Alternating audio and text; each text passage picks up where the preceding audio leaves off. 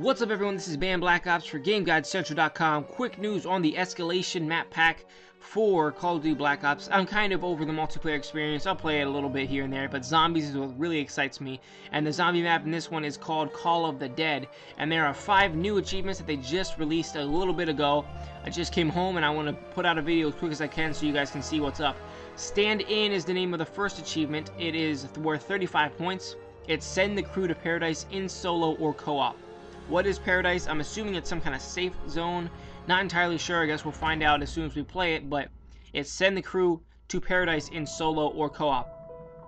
Ensemble Cast is um, doing the same thing. It's worth 45 points. Send the crew to Paradise in co-op. So you can't get this one alone. I don't know if they need they need all four of your uh, teammates to be playing.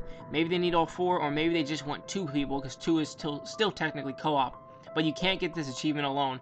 And I guess if you were playing co-op for the first time and you got to Paradise, you could uh, technically get stand in and end ensemble cast at the same exact time. Stuntman is worth 20 points. This is the next achievement. Uh, again, it's of course it's in Call of the Dead. It's make a zombie explode using the VR11.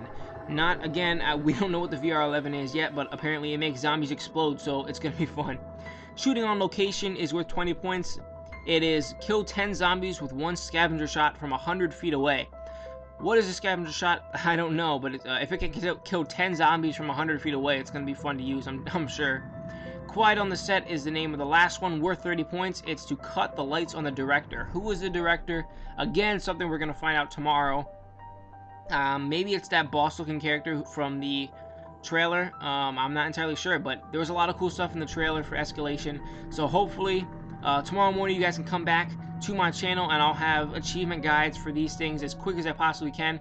And please go to GameGuidesCentral.com for more achievement guides for this game as well as many, many other games. But like I said, I'm going to be playing this thing right away. I'm going to play zombies right away. And I'm going to try to put achievement guides up as quick as I possibly can. So check out the channel later on in 24 hours or less. And hopefully you'll have a lot of these things up.